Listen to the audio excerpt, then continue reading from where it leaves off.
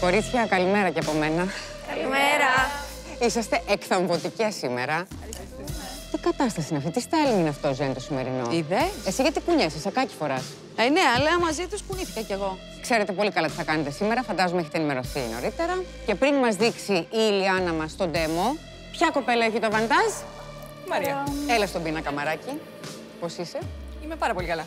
Έχεις σκεφτεί από πριν σου που με το βαντάζ ποια θα στείλεις στον τάκο;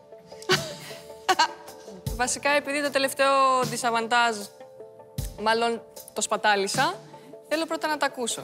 Το σπατάλησες; Ναι, Άρα δεν είναι ορθή η κρίση σου ως τώρα; μάλλον. Θεωρώ η Μαριά το έχει σκεφτεί πάρα πολύ με τον Τισαβαντάζ, γιατί τις προηγούμενες δύο φορές πήγε κουβά, ξεκάθαρα. Οπότε πιστεύω και ελπίζω θα κινηθεί στρατηγικά.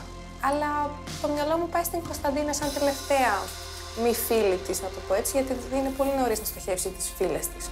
Το αβαντάζ είναι ότι όλα τα κορίτσια, το demo που θα σας δείξει η Ιλιάνα, έχετε τη δυνατότητα να το κάνετε δύο φορές. Εκτός από το ένα κορίτσι που θα επιλέξει η Μαρία να το κάνει μία, one off. Ωραίο. Το ξέρω. Ωραίο, καλό. Το σημερινό της Αβαντάζ ήταν πολύ σημαντικό. Σε ένα διαφημιστικό που θα κάνεις για πρώτη φορά από τις δύο προσπάθειες, να μπορείς να κάνεις μόνο τη μία, για μένα ήταν ε, πολύ μεγάλο πλήγμα και δεν θα το ήθελα με τίποτα. Να επισημάνω ότι στα διαφημιστικά η επανάληψη είναι αυτή που φέρνει το σωστό αποτέλεσμα. Είμαι προετοιμασμένη σήμερα να φάω το διζαβαντάζ, αλλά ελπίζω αυτή τη φορά η Μαρία να σκεφτεί καλύτερα και να το δώσει λίγο πιο στρατηγικά. Μαράκι, θα διαλέξεις κορίτσι; Θα διαλέξω την Κωνσταντίνα. Το ξέρω. Εντάξει, είμαστε τρία κορίτσια. Η Κάτια της έχει δώσει τη Σαββατάζ και έχει βγάλει καλύτερη φωτογραφία. Η Άννα της έχει δώσει τη Σαββατάζ και έχει βγάλει καλύτερη φωτογραφία. Άρα ποιος μένει, εγώ.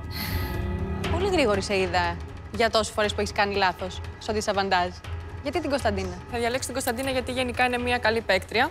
Στην προηγούμενη όμως δοκιμασία ήταν στις τρεις τελευταίες. Οπότε αποδυναμώθηκε να το πω και θέλω να την αποδυναμώσω κι άλλο. Στο δικό σου μυαλό, γιατί η προηγούμενη δοκιμασία ήταν φωτογράφηση, δεν ήταν ε, τη ζεράκι, δεν είχε να κάνει με βίντεο. Άρα δεν νομίζω ότι είναι κριτήριο αυτό για να διαλέξεις.